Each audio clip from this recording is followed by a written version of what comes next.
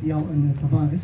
Uh, werd er gezegd, ik herhaal nog een keer dat uh, Tavares, of ja, een, een, voedingsspecialist in dat geval, of de trainer van Tavares, dat weet ik niet meer, zei dat Tavares 100% op KO zou winnen op jou.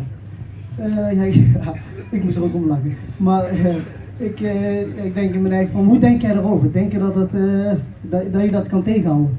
Die moet nog geboren worden, zoals ik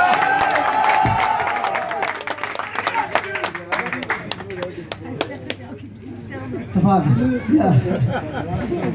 Even ook een vraag voor jou. Ik, uh, ja, je, je, je, hebt het net al een beetje beantwoord. Van, uh, ja, dat al aangaf uh, de, de, de ban achter jou. Van, ja, je zal 100% op KO winnen.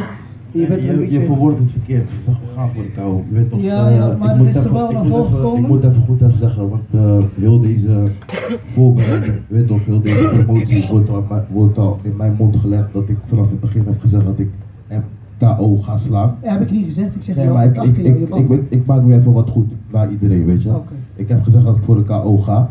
Vanaf het begin is, is hij die woorden op mijn mond gelegd, zijn die mijn woorden. Maar als jullie graag, willen, als jullie graag een KO willen zien, dan ga ik er echt voor. Hij, hij zou er ook voor gaan, snap je?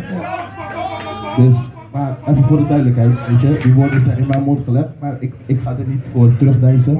Sowieso ga ik die dag voor de KO, snap je? Oké, ja, Dankjewel. Uh, laatste vraag uh, voor Ben Mo.